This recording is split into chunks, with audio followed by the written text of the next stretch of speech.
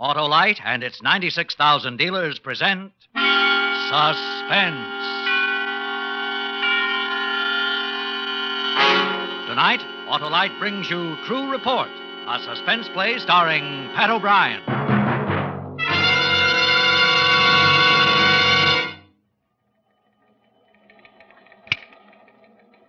Go right in, Lieutenant. Captain's waiting for you. Thank you, Bert. Oh, it's you. Hello, Captain. All right, Ben, have you got it? Yeah, here it is. Mm-hmm. Good. Everything here? Everything? Uh, sorry it had to be this way, Ben. Yeah. So am I. But it couldn't have come out any other way, so take it. This is what you wanted. This is my true report. In just a moment, Mr. Pat O'Brien in the first act of True Report. Well, hi, Hap. Welcome back. Why, if it isn't the spark plug of Autolite Alley, Harlow Wilcox. Say no more, Hap. Got to get proclaiming after my summer siesta. Proclaiming that when you replace worn out spark plugs in your car with new ignition engineered Autolite spark plugs, you get smoother performance, quick starts, gas saving. Don't forget, Harlow. Autolite spark plugs are ignition engineered. Right, Hap. Ignition engineered by the same Autolite engineers who designed the coil, distributor, and all the other important parts that go to make up the complete ignition system used on many of America's leading makes of cars and trucks. That's why you can't buy better spark plugs for your car than Autolite. So, friends, have the spark plugs in your car checked before you start on that long Labor Day weekend drive. And if replacements are needed, insist on smooth, snappy, ignition engineered Autolite spark plugs. And whether you choose the resistor type or the standard type, you're always right with Autolite. And now, with True Report and the performance of Pat O'Brien, Autolite hopes once again to keep you in suspense.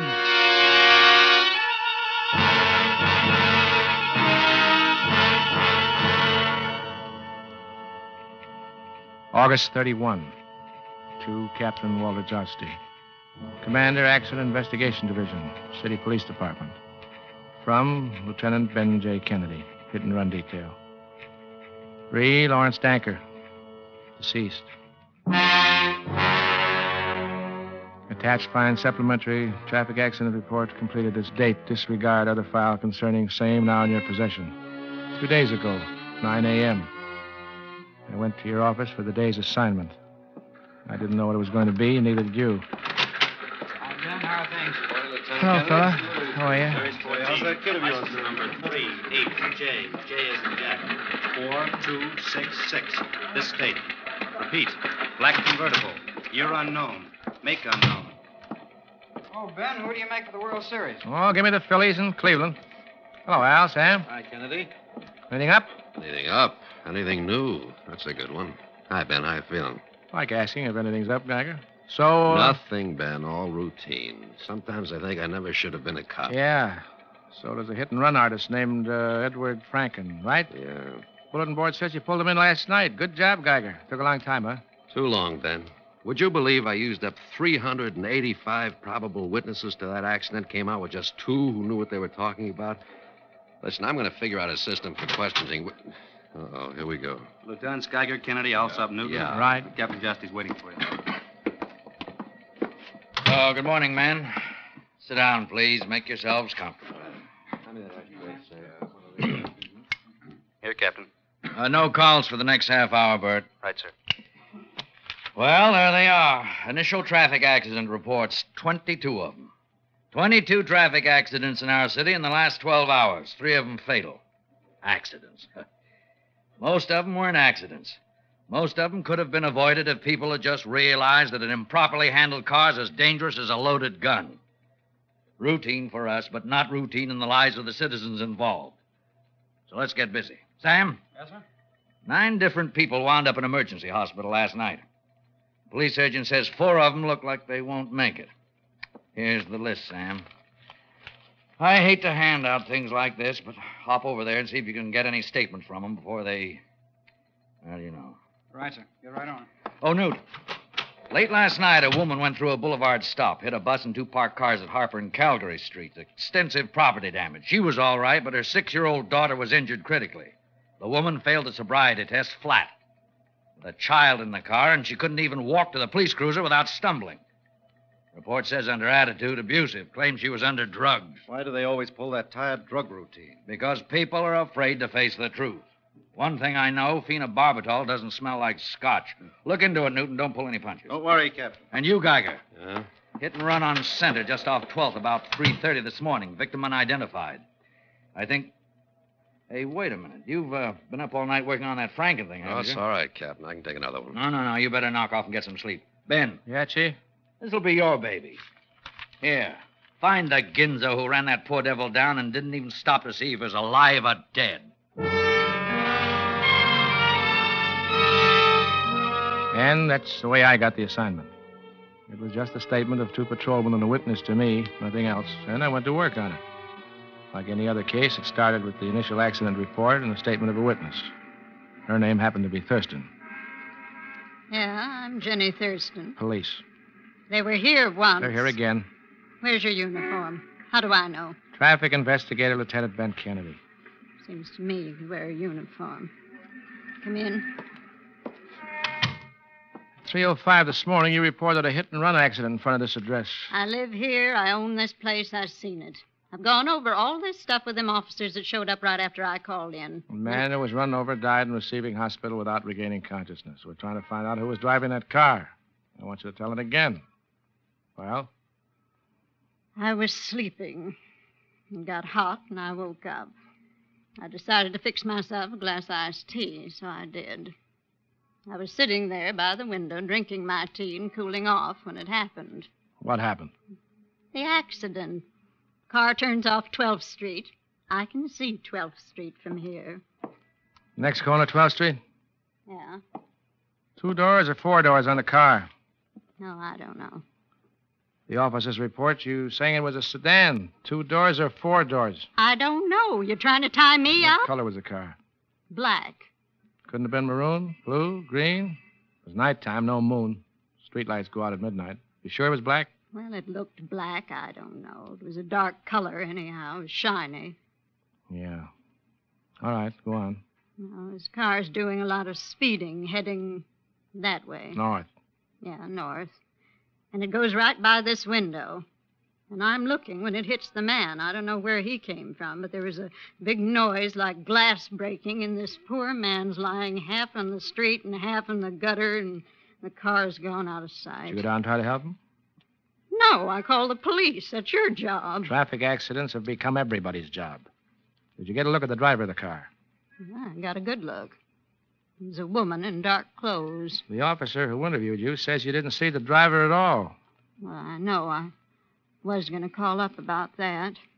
When I concentrated later, I remembered it was a woman. It was a young one. One of those kind all painted up. You know the kind I mean. What she was doing out at three in the morning was no good at all. I All can- you could possibly have seen from this window was the top of the car and not the person driving it. Well, why'd you ask me then? Try to get the license number? It was too dark to see. I did my duty as a citizen. I reported what I saw. Yeah, yeah, yeah. Thanks, Mrs. Thurston.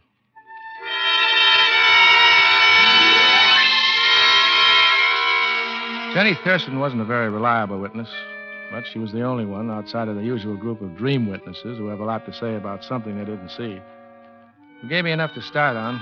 I gave up after I'd talked to 30 people or so in the neighborhood and dropped by the morgue to look at the victim.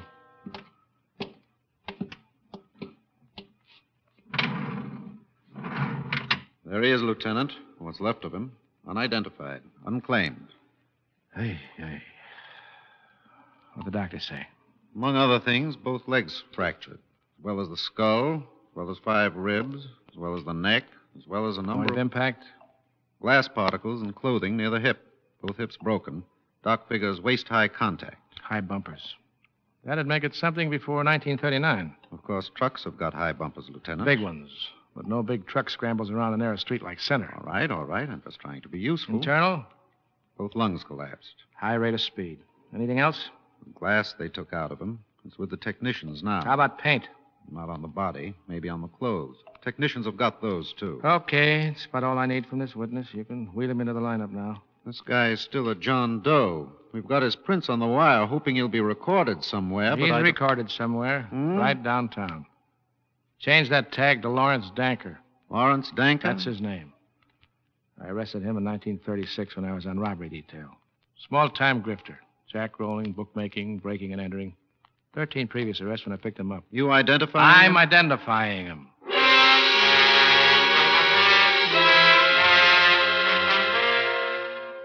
At least I knew my victim, and though my witness hadn't been too good about the details, I knew that the piece of broken glass and a chip of paint found on the victim would tell a better story. The shortest route to hit and run killers is through the crime lab. They don't miss a thing.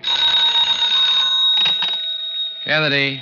This is a lab, Lieutenant. We got the dope for you. All right, let's have it. The glass splinters came from a headlight lamp used on four different makes of cars between 37 and 39.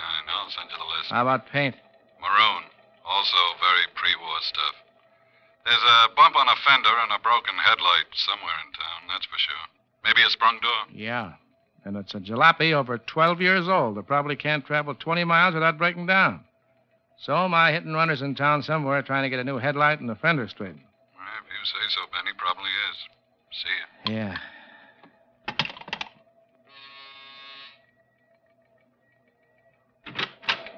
Yeah, Lieutenant.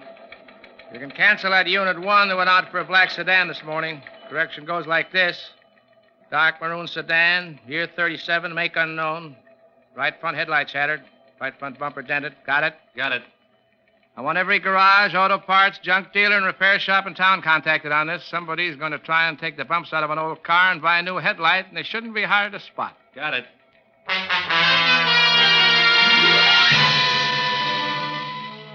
By four o'clock that afternoon, the bulletin was out. We knew what kind of car we were looking for, and I had eight pairs of officers out doing the legwork. With luck, I expected a pickup in a matter of hours. Hi, man. Oh, Geiger, hi. Got a tough one this time? No, not too tough. Say, I thought you were home sleeping. Oh, you know me. Got nothing else to do but be a cop. Need any help? No, thanks. Just a matter of time. Mhm. How are things at Oh, home? good. Charlie? It was last year. He goes into internship next April. Nice kid. You're lucky. Alice, all right? Yeah, she's fine, thanks. When are you coming over for dinner? Soon, I hope, Ben. I, I don't know what's with me. Even when I have time off like now, I come sniffing around. Can't seem to stop being a cop. Well, so long, Ben. I'll see you. Okay, Geiger.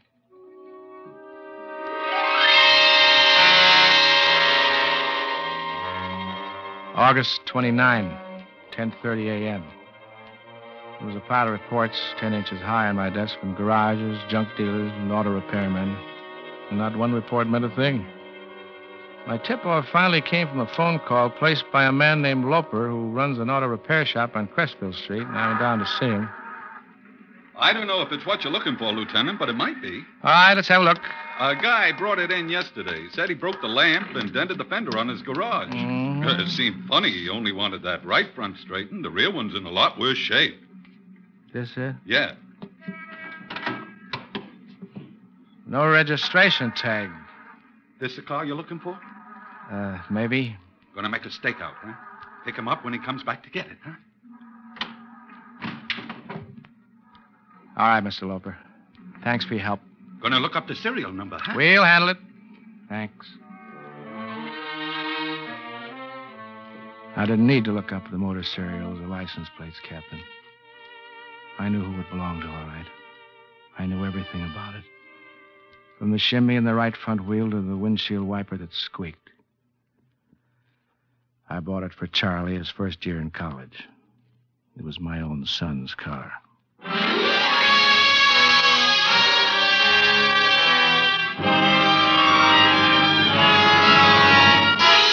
Autolite is bringing you Pat O'Brien in True Report, tonight's production in radio's outstanding theater of thrills, Suspense.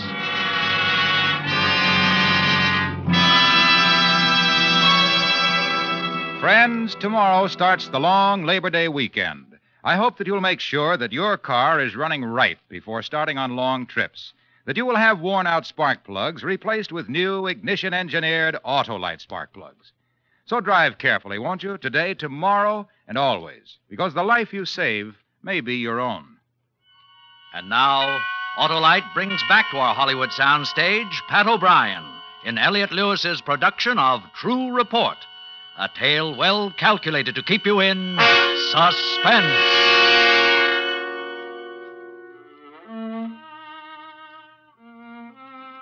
Routine. You start with things you know for sure, like a traffic accident report and a statement of a witness. Like glass particles from a headlight and the smear of dark maroon paint, and you work with the medics and the crime technicians. All routine. And pretty soon you know what the car looked like and you start looking for it. But what do you do when you're a cop and you find the car and you're supposed to arrest your own son on a manslaughter charge? What do you do? I drove up to the State University that afternoon to have a talk with my suspect.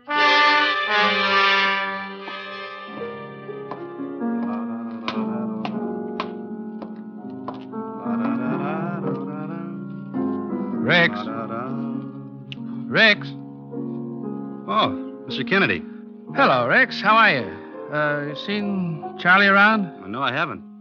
I went over to the room. The landlady said you were here in the recreation hall. I thought maybe Charlie was with you. Sorry. Rooming with that guy's like rooming with a ghost. I never see him. I, uh, you didn't see his jalopy around anywhere, did you? Suppose No, he's taken out of town or anything?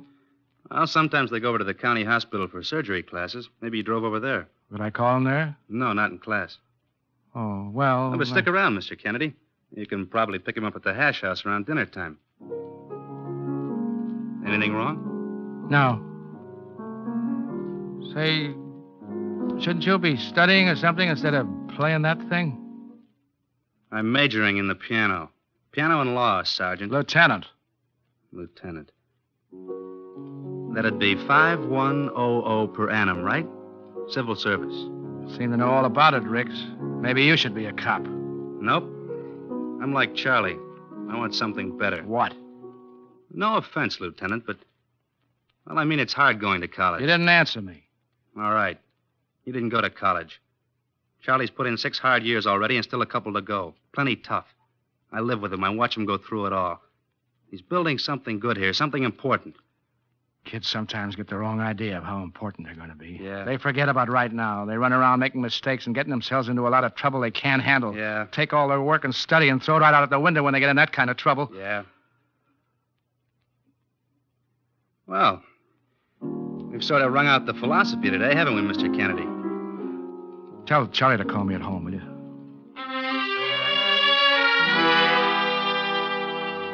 If I'd waited for him, I don't know what I'd have said or done. As it was, I felt like a rookie with his first corpse blowing my top in front of a punk kid. So I just got out of there and drove back to the city. Lieutenant Geiger was sitting at my desk. Oh, Ben.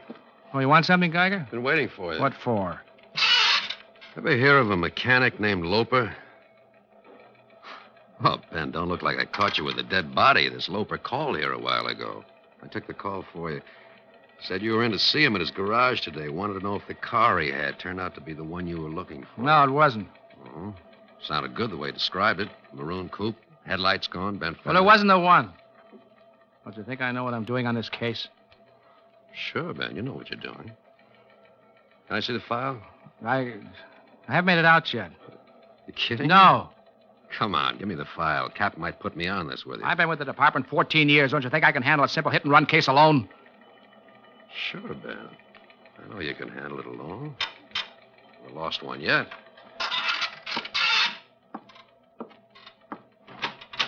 I just want to help you keep that perfect record perfect.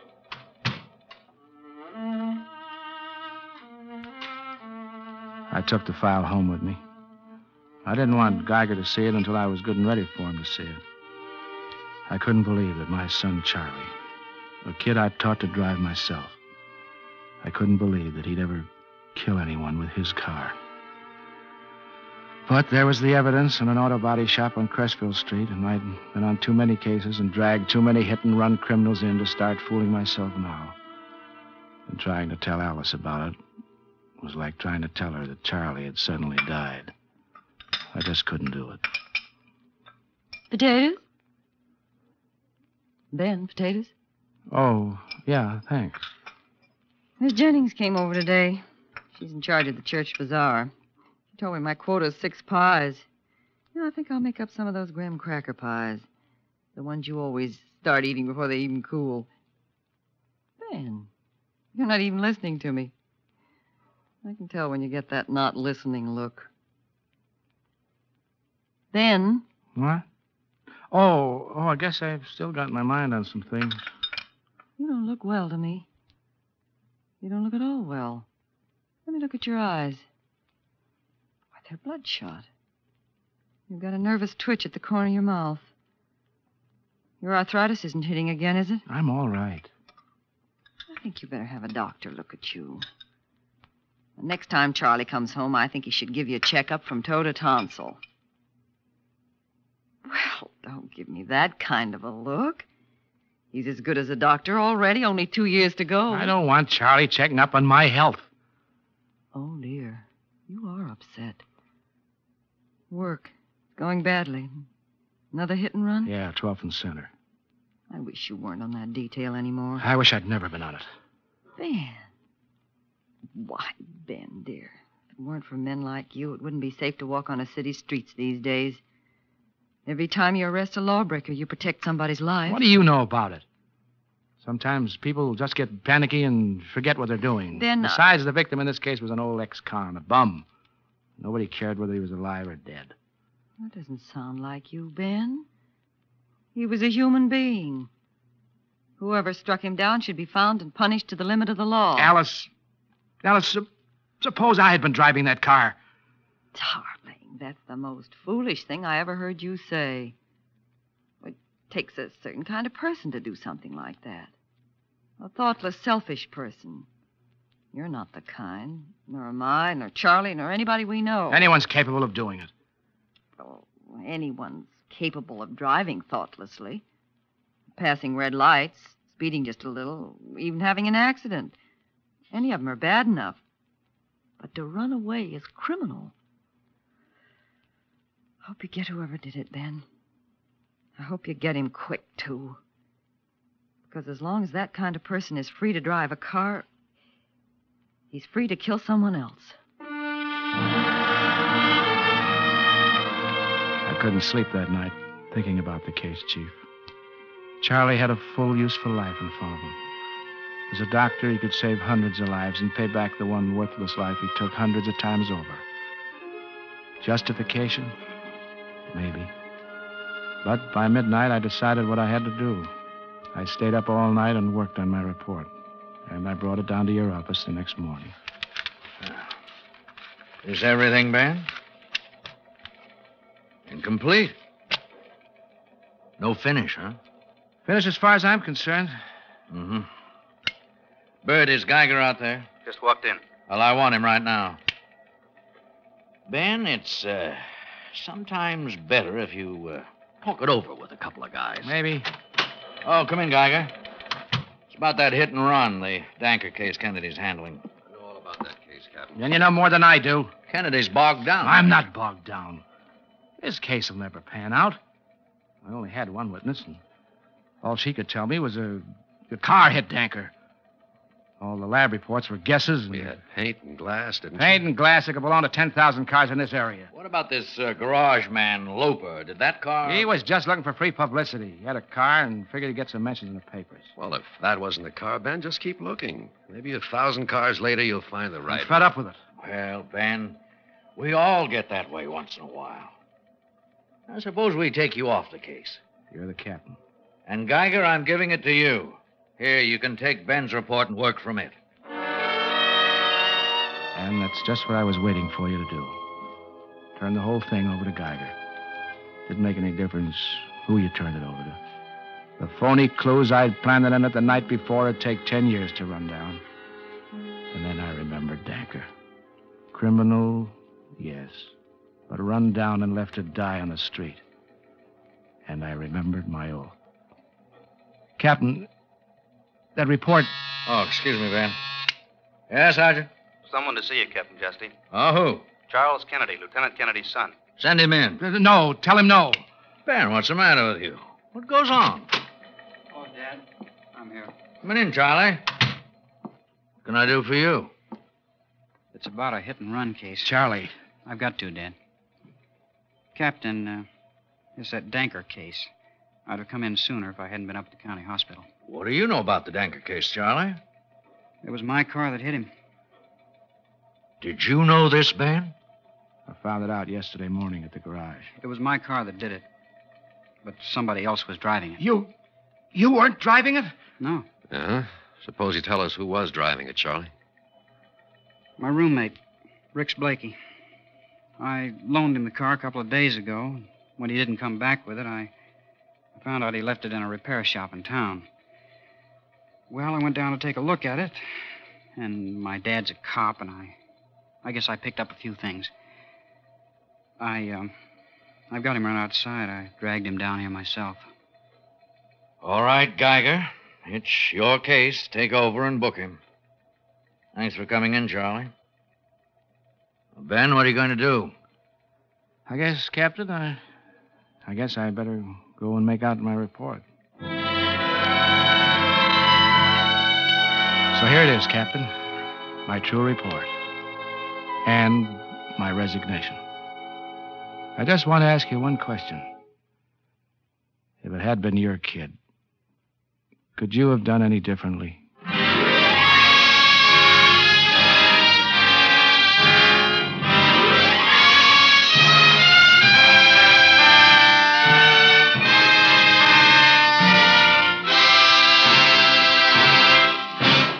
Suspense, presented by Autolite. Tonight's star, Pat O'Brien. Friends, Autolite has again opened Suspense's new season with a story that shows how unnecessarily tragic bad driving can be. Pat, that was a grand performance. Harlow, you know how much I wanted to play Sergeant Kennedy. I sure liked the role, but I also wanted to do my part to help prevent highway accidents this Labor Day weekend. Driving accidents are horrible to the man, woman, or child injured or killed, and they're doubly horrible to their families. Death also always cheats each one of his greatest right in the world the right to live. Now, tonight, on behalf of Ned Dearborn, President of the National Safety Council, it is my special privilege to present the National Safety Council's Public Interest Award to Mr. Royce G. Martin, Chairman of the Board and President of the Electric Autolite Company.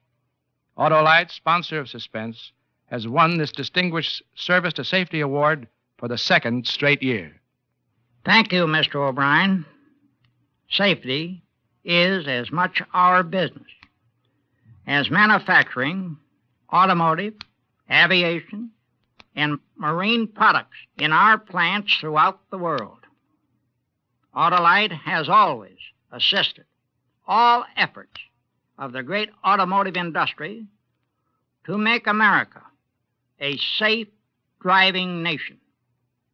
Tonight, on Suspense, Autolite repeats a message that can never be repeated enough. Drive carefully. The life you save may be your own. So let's all be interested this Labor Day weekend in two driving lives our own and the other fellows. A lot of lives will be saved if we are. Thank you, Mr. Martin. Next week at the same time, Autolite will bring you Miss Ida Lupino in The Tip, a tale well calculated to keep you in suspense. Tonight's suspense play was produced and directed by Elliott Lewis with music composed by Lucien Moraweck and conducted by Lud Gluskin. Parts of this program were transcribed. True Report is an original play written for suspense by E. Jack Neuman and John Michael Hayes. Pat O'Brien may now be seen in Johnny One Eye. Autolite and its 96,000 dealers wish you all a happy, safe Labor Day weekend. Good driving, good night. You're always right with Autolite. This is CBS, the Columbia Broadcasting System.